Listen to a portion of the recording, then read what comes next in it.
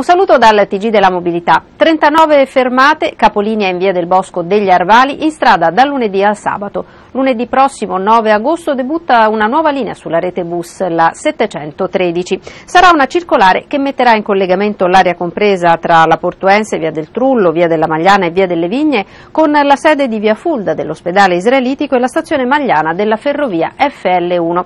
La 713 sarà in strada nei giorni feriali dal lunedì al sabato.